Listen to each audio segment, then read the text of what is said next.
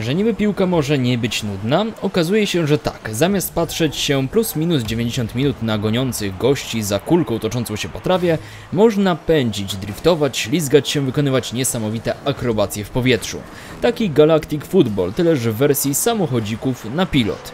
Dzisiaj zabieramy się za hit ostatnich miesięcy, który nie przestaje nudzić, wzbudza niesamowite emocje, stoi na naprawdę wysokim poziomie. Ja jestem Xaurus, a przed Wami Rocket League.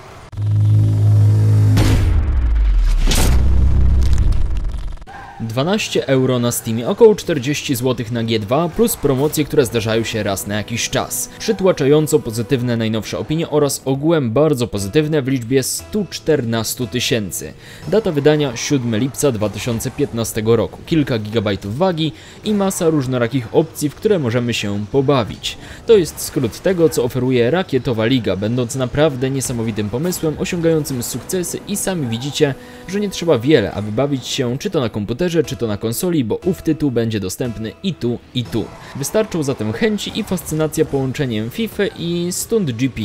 Jest to jednak tytuł z kategorii Easy to Play, Hard to Master, a to musicie zdecydowanie pamiętać, szczególnie jeżeli emocje targają wami w krytycznych rozgrywkach. Przygodę rozpoczynamy w lobby złożonym z kilku zakładek. Showroom odpowiada za przegląd aut, które możemy zakupić. Kolejna exhibition będąca trybem rozgrywki, sezon będący po prostu rozgrywkami sezonowymi. Nie mogło zabraknąć również garażu, który pozwoli dobrać samochód, jego kolorystykę, naklejki czy dodatki takie jak nitro, i na przykład czapka. Poza tym trening, zakładka do przeglądania dodatkowych treści, no i opcje. Co do opcji, gra posiada skromne wymagania sprzętowe, więc mając przykładowo i trójkę starszą oraz kartę HD 3000 i 4 GB RAMu w laptopie spokojnie zagracie. Sprawdziłem, jest to realne i całość utrzymuje stabilne 25-30 klatek. Same mecze przyjdzie nam toczyć w kilku wariantach i trybach, od zwykłej piłki nożnej poprzez koszykówkę i hokej, aż po dziwne okrągłe mapy, czy takie posiadające po cztery bramki. Wszystko w drużynach od 2 do 4 graczy lub w formie pojedynków na różnorakich mapach stylizowanych na klasyczne boiska, postapokaliptyczne areny lub wcześniej wspomniane dziwaczne wariacje. Efekt? Każdy mecz w jakimś stopniu nas zaskoczy, pozwoli puścić wodze fantazji, jeżeli chodzi o strategię oraz nasze poruszanie się, ponieważ możemy jeździć po boisku, ścianach, suficie, skakać, latać, kręcić się i demolować przeciwników. Cała esencja futbolu, szczególnie jeżeli owe wyczyny robimy przy pomocy samochodów tak uroczych, że nie sposób oderwać od nich wzroku. Wśród nich konstrukcje podobne do tych ze Stunt GP, molochy, które mogą taranować przeciwnika, jak i kultowe jednostki pokroju Batmobila, czy znanego z powrotu do przyszłości DMC. Czego chcieć więcej? Prawdopodobnie zechcecie meczy rankingowych, które pozwolą Wam spinać się wyżej i wyżej, poziomów do zdobycia i fantastycznej szaty graficznej. Rocket League jest po prostu grą piękną, tak na minimalnych ustawieniach mimo braku detali, jak również na ustawieniach ultra, gdzie całość nabiera blasków. Pamiętajcie jednak, aby nie spuszczać ogromnej piłki bądź krążka z oczu oraz korzystać z bonusów prędkości umieszczonych na całym boisku w celu utrzymania ciągłego dostępu do maksymalnej mocy.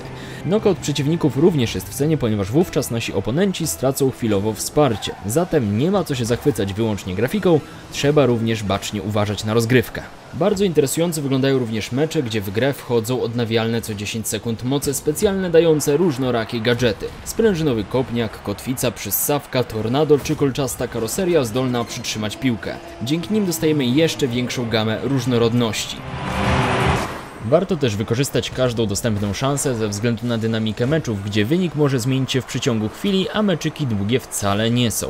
Trwają one kilka minut plus ewentualna dogrywka w momencie, kiedy brakuje decydującej bramki. Nieraz bywa jednak tak, że mimo wygranej w ostatnich sekundach przeciwnik dostrzeże lukę w obronie i przepuści celny szturm. Włosy wyrwane, klawiatura rozbita. Tak można podsumować podobne sytuacje, ponieważ Rocket League emocje zdecydowanie wzbudza i potrafi zaabsorbować solidnie na kilka dobrych godzin. Czy wspomniałem, że muzyka podczas rozgrywki jest tutaj również naprawdę świetnym elementem? Chyba nie, więc wspominam. Nie mogło zabraknąć również skrzynek, które są teraz tak bardzo popularne. Podczas ich otwierania możemy otrzymać jeden z wielu elementów do ozdabiania i kustomizacji naszego pojazdu. Legendarne skórki, fantastyczne koła, nietuzinkowy design dopalacza. Jednocześnie nie doświadczymy tutaj elementów pay to win, więc nie musimy obawiać się o swój portfel. Jeżeli nie chcecie, to nie kupujecie, a wciąż macie równe szanse.